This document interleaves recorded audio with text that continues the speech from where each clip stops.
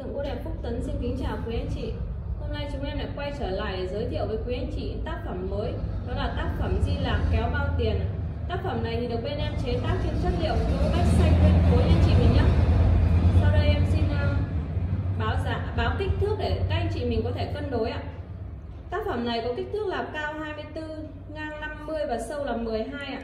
Tác phẩm này kích thước trên thì bên em đã bao gồm cả kỷ rồi anh chị mình nhé. Kỷ ờ, là 6 phân ạ sau đây em xin quay gần lại tác phẩm để anh chị mình cùng thưởng lãm một cách chi tiết nhất nhé. Đầu tiên là diện mặt của cụ ạ. Diện mặt với uh, nụ cười rất là hoan hỉ và thần thái đấy ạ. Từ những đường nét uh, chi tiết nhỏ nhất như là lông mày mũi và mắt thì đều được bên em. Bên em uh, các nghệ nhân chạm tỉa rất chi là sắc nét nha anh chị mình nhé. Lông mày thì rất chi là mềm mại đấy ạ bên phía tay à, phải của cụ thì à, cụ đang à, vác một cành đào nhé các anh chị mình nhé vác à, cành đào là tượng trưng cho lời chúc trường thọ cho gia chủ đấy ạ.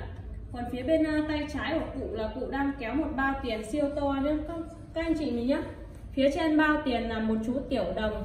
Chú tiểu đồng với nụ cười hoan hỉ đang ngồi trên bao tiền đấy ạ.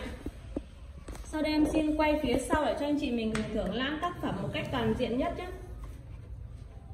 phía sau thì là à, có một chiếc lón của cụ. Chiếc lón của cụ thì đã được à, các nghệ nhân bên em chặt tỉa những đường gân à, rất chi là sắc nét và đều đặn luôn các anh chị mình nhé